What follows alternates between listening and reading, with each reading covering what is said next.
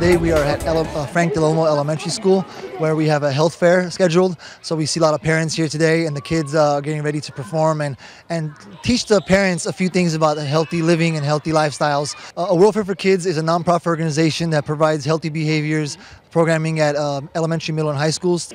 I learned uh, something uh, that that we can stay stronger, we can live longer, not like other people when they eat too much. And when we're healthy, we, we can live longer.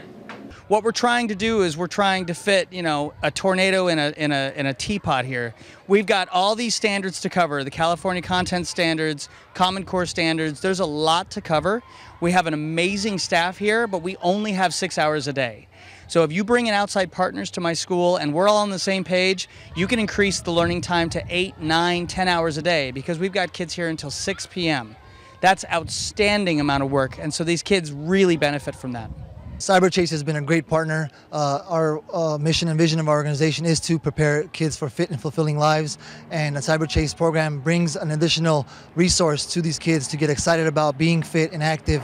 And the CyberChase Step Up Challenge has been wonderful because the kids already are active, but now they're able to use the pedometers to keep uh, count of their steps, to be cognizant of how many steps they're taking, and also work to increase their steps. Yeah, it made me like like I want to do more steps because all of my friends were like, oh, I got like 2,000, and sometimes I just had like uh, uh, 200 or 300, and I really wanted to like do more, so I just kept on using it. We're all doing it.